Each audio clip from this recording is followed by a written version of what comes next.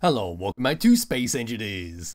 In today's video, we're looking at another large, large block land vehicle, which is yet another research rover called the Lundi Research Rover, which is this lovely thing all the way over here. So this is a very white and blue land vehicle that features a spinning radar dish at the back there made out of two hinges and a rotor. We put all the very new blocks from the late DLC pack and of course new update to very good use to get in and out of this thing, we've got an elevator system made out of piston right below the middle of the vehicle to get all the way up and all the way down. And we do have a way to go all the way up on top of the vehicle, be able to use as an observation post to survey the surrounding areas, or to use as a simple docking pad for a very small ship. So pressing F10 and finding in the spawn menu, the Lundi Research Rover is 745 large blocks using one hell of a lot of the DLC packs. We see up here a very brief bit of information where it states it's a survival-ready research rover that was made for an upcoming economy overhaul mod. It uses no scripts, it's survival ready, uses a lot of DLC packs, and it's also available on Mod.io. So giving this thing a thumbs up, we're going to move around towards the very front, have a quick look around outside, then we'll go have a tour of the interior, I'll show you the elevator system, and while the journey takes go all the way up inside it, and then we're going to drive around for a bit to see how it handles. From my testing while driving around on the grassy surface, it seems to behave very well the way the wheels have been set up, the way the main body has been set up. It seems to be a good enough distance from the ground, so if you do do a dodgy landing, you're not really going to be damaging anything important. But no, my character can bugger off just a little bit. There we go. And this is what we get for the very front of the Lundi Research Rover. So you see, all the way up to here, we've got a lovely curved glass section, which could be both your control center to drive this thing around, and your main laboratory to do your experiments with. We also got some transparent LCD screens telling you your horizon, your speed, and of course the weather. Moving down here, we've got some floodlights to light up the surrounding areas. Surrounding all that, we then got some dusted steel blocks in both the grey, white, and then blue on the side of the wheels. Then moving all the way across onto the wheels, there's the wheel suspensions, there's the wheels being partially covered up by some armoured panels, and all the way around over here, got a small strip of hand skin in the black and white. As we move further along, we can see at the very top there some railings, which mean where you're going to be storing small ship, or like I said earlier, using as an observation post. There's more windows appear inside at the main section, which is connected onto the front, where all your laboratory stuff is going to be sitting. Then moving further along here, we've got some more wheels, this time two in the middle are joined together, until we come all the way over to this part. So up in the middle, we've got a wheel to appear inside as a small living quarters. They both have beds, but one side got a kitchen table, the other side got another laboratory block. We'll see them more clearly when we go around on foot. But continuing along here, we see an O2H2 generator built into the back, partially covered up by a blue armoured panel, but then got a basic refinery, which is the same on the opposite side. Then around onto this section, blast edge blocks with some red neon tubes, just adding a small brake light. Come around towards the very back of this thing. There we are, we've got connected Docker Hub. Small strip of Haskin once again in the black and white colouring. Then we'll move all the way up and look down, past that section, past a little air vent covered up by a beam block, then we come up to the centerpiece essentially of this vehicle. So this is your spinning radar dish, which does work as you expected. So there we are. There's the signal, just spinning around there. And then just hiding that and continuing all the way along, looking at it like so, and that's how it's been set up. So got a hinge angled onto a rotor, the rotor is spinning round onto another hinge, which has also been slightly angled. Then we've got two arm panels on each side, just adding little fins, with a little beacon on top, flashing in a red. Moving all the way up looking down, we've got solar panels for a bit of renewable power, spinning all around a bit more, continuing all the way across, laser antenna, over to this section is a smaller walkway inside, this is your way to get on top of the vehicle, putting the camera like so, there we are, we've got a double door for an airlock, that's just come all the way across onto this section, we've got a bunch of glass, we've got some yellow lights and railings on both sides to make sure you don't accidentally fall off this thing. I'm not too sure this is intended to be a docking pad or not, but like I said, it's probably more of an observation post just to survey the surrounding areas.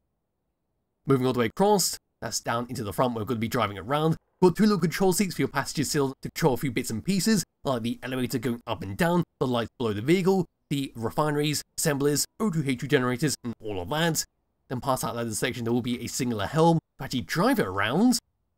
But no, down to here, past these floodlights, this is what we get at the very bottom. We've got some decorative pipes just hidden in between these steel blocks. Then we come over to this part, which is going to be your elevator that goes up and down. Moving all the way up, there's your button panel, there's your fancy square piston. Now just go all the way up into this section, takes a fair bit of time to come all the way up here.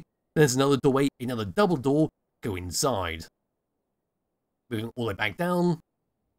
and across. Which way was it going? Blue would just go this way. Yes, more decorative pipe blocks. There's your blaster edge block to the red neon tubes, and connector at the very back. And with that, that's a very brief look around the outside of the Lundi Research Rover.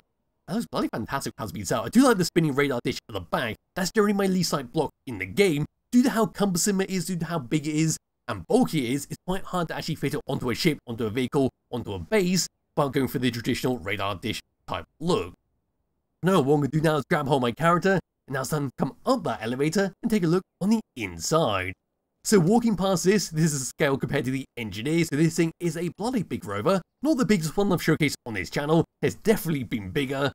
Now we're going to walk all up this lovely little catwalk, walk on top of it, then we're going to hit this button right here. But before we do that, we've got a button on this side, which coming through the lights below here. Just make sure if it is a bit dark, well, you can just turn it on, make it easier to spot. Anyway, pressing this button, here we go, all the way up. So like I said, it's going to take quite some time. Says the engineer just standing around there. And yes, just looking around here. Nice bit of decoration to actually view as you're traveling all the way up. Pipe blocks, different types of blocks that are acting as the supports for the wheels.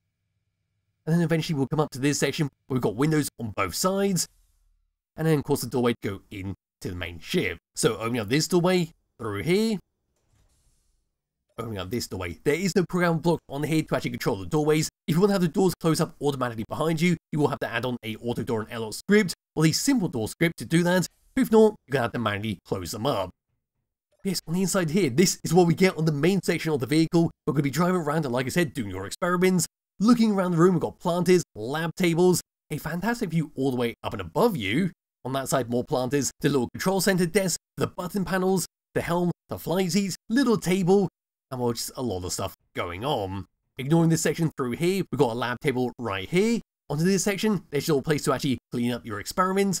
Round over here, it's your console tables. There's your flight seat, which could be the same as the one on the opposite side. But like I said, it controls the piston, controls the lights below the vehicle, and of course your refineries and all of that.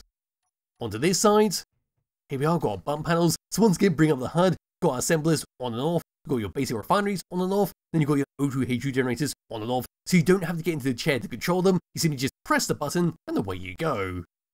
Now onto this side, here's your little lab tables to actually conduct your experiments on, there's your microscope, there's your little thing to, I suppose that is a cutting board at the end of the day, and of course here's some little vials, and then here is a computer where you've got space engineers installed on it to go and play in your spare time. But anyway, that's that for this room. All we've got to do now is go through one of these two doorways, which is go through this one, then loop all the way around. So through this section, looking around, shower and toilet, continuing all the way through, we need to appear inside the elevator. Through this section, ignoring that bit, and coming into here, and this is what I spoke about earlier, by being a small little living quarter type section, but we've got a desk in the corner, got a little section right here to, well, store few bits and pieces inside, planter, round on the side, there's your bed blocks to actually go to sleep on, looking up and around, and there we are. Quickly running through this section, into here, kitchen block, planter, desk, and then beds once again, so slightly different on both sides. Yes, I'm just presuming these are the living quarters. Anyway, into this main section, which is going to be factory all the way up and above the vehicle. We've got some storage crates, storage barrels. In the back is your air vents, and of course your survival kit to respawn on to recharge itself. Looking towards the front, there's a logger store a few bits and pieces inside. And that's about it on this section. Moving up and around past these armory lockers, all the way up to here, and here's our double door once again, at least onto the very top, we've got a lovely glass door docking pad for observation posts. So looking around here, got a good view of what's going on all around us. And that's about it on this section. So running all the way back through here, all the way down, all the way around, and then past this part, there's a programmable block coming inside. There we are, we've got nothing going on with this, but it does have Tetris playing on the screen. Anyway, there's a custom weapon controller, which could be for the radar dish and the bank, at least I'm presuming that's for the radar dish at the bank. Now we can come past this, into the helm. I suppose before I go into the helm, what I could do is just walk down these steps. So yes, you want to get a good view of what's going on in front of the vehicle. Say you got stuck on something, say you got trapped on something, and you don't know what's going on, and you don't want to get out of the vehicle due to the fact there's spiders or wolves around. You can come down into this section and take a little gander at what's going on. Anyway, all the way up here, into the helm. Third person view, bring up the HUD, these are the controls we get. So they are identical to the two seats in front of us, to control the elevator up and down, control the lights below the vehicle, control the assemblers, control the basic refinery, control the O2H2 generator on and off, and then finally to control the batteries to auto or recharge. On to tab number 2 we've got nothing else, checking all the other tabs, got nothing else with them, so it's time for me to undo the parking brake and drive this thing around. So on this flat surface on the eyes, we're going to be very carefully spinning this thing around, and while that is the turning radius of this vehicle while holding forwards and holding right. Yes, we're going to come all the way up this grassy patch, because that will make quite a difference to this vehicle, but as you can see we are capping out about 43 meters per second, which is jolly good stuff and perfectly safe for this type of vehicle or for any vehicles in general. Now having that radar dish spinning around at the back there might make it a little bit wonky, but from my testing before I started recording video, it was perfectly fine, it didn't seem to interfere whatsoever, even when the vehicle was partially tipping over.